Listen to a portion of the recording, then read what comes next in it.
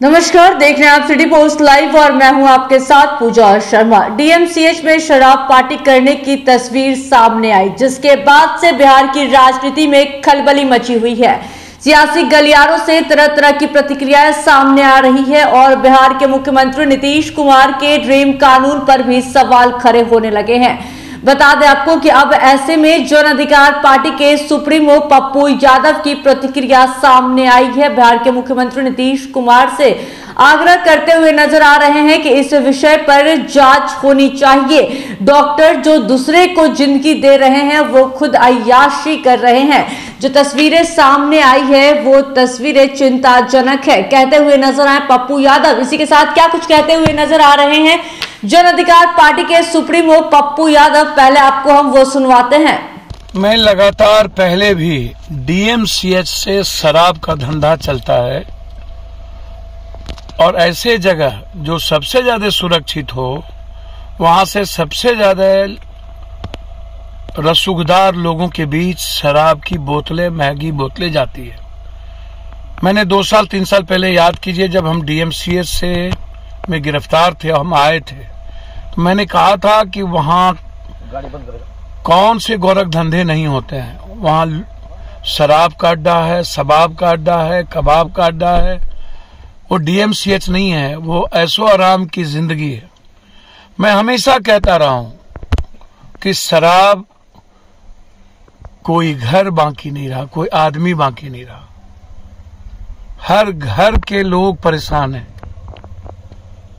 अब जो मैंने आज आपको बताया है, कहा है कि किस तरीके से इतनी बड़ी डीएमसीएच में बिहार और देश के नामचीन डॉक्टर आए और उन्होंने एक शोध पर एक परिचर्चा रखी, एक व्यापक चर्चा थी।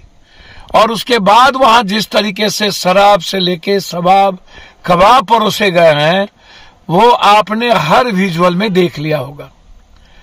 क्या लगता है आपको? जो मेरी लड़ाई है, इस सिस्टम के खिलाफ, व्यवस्था के खिलाफ, मैं बार बार कहता हूँ कि टेन परसेंट ही अच्छे डॉक्टर है। फिर मैं ज़ोर दे के कह रहा हूँ कि डॉक्टर भी इंसान ही है और अच्छे डॉक्टर है। डॉक्टर का सम्मान होना ही चाहिए।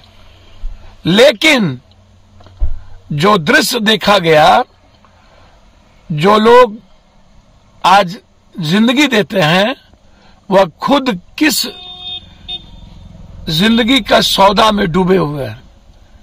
इसलिए मैं पूरे के पूरे इस घटनाक्रम का कंप्लीट न्यायाधीश के नेतृत्व में जाँच चाहता हूँ। हर परिस्थितियों में जो लोग इसमें दोषी हैं, वो दंडित हो। मैं यह आपको बता दूँ कि भागलपुर, पूर्णिया, दरभंगा, पटना, मुजफ्फरपुर और गया। यहाँ पर जितने बड़े सेंटर हैं, सभी तरह के अयासियों से, शराब और शबाब से भरा हुआ है। यहाँ पर पेशेंट का शोषण होता है और आईएमएम जिस तरह आईएमएफ से मैं आग्रह करूँगा कि मैं आपकी इज़्ज़त करता हूँ, आप धमकी ना दें किसी को। आप छोटी छोटी बातों में धमकी देते हैं, आपका जो चरित्र है वो दुनिया जानती है। मैं अच्छे डॉक्टर का सम्मान करता हूँ, लेकिन किसी संगठन के सम्मान के लिए मैं बाध नहीं हूँ। आप अपने चरित्र को देखिए, अपने अंदर झांकिए, और जो डीएमसीएच में कुकर्म हो रहा है, उस पर भी हड़ताल करने का प्रयास करिए। मैं सरकार से मांग करता हूँ कि अविलंब डिस्चार्ज किया जाए। एफआईआर लॉन्च किया जाए और सभी डॉक्टर को जेल भेजा जाए। हर परिस्थिति। डीएमसीएच एक शराब का अड्डा बन चुका है। वहाँ पर लोग जाते हैं और फिर अयाशी करते हैं। कहते हुए नज़र आए जन अधिकार पार्टी के सुप्रीमो पप्पू यादव। इसी के साथ मुख्यमंत्री नीतीश कुमार से मांग करते हुए नज़र आ रहे थे कि इस पर समीक्षा होनी चाहिए। जो दोषी है, उस पर कार्रवाई होनी चाहिए। की मांग करते हुए नज़र आए। पप्पू यादव इसी के साथ साथ शराबबंदी को लेकर भी क्या कुछ कहते हुए नज़र आए। शराब माफियाओं से जुड़ी क्या कुछ जानकारी देते हुए नज़र आ रहे थे? किस किस ज़िले में शराब पहुँचती है और किस तरीके से होम डिलीवरी होती है? इसकी सारी जानकारी देते हुए नज़र आ रहे थे जन अधिकार पार्टी के सुप्रीमो पप्पू यादव। क्या कुछ कहते हुए नज़र आ रहे थे? सुना आपने तो इस खबर में। बस इतना ही। तमाम जानकारी के लिए बने रहे सिटी पोस्ट लाइव के साथ। इस वीडियो को लाइक करें, शेयर करें और चैनल को सब्सक्राइब करना ना भूलें। धन्यवाद।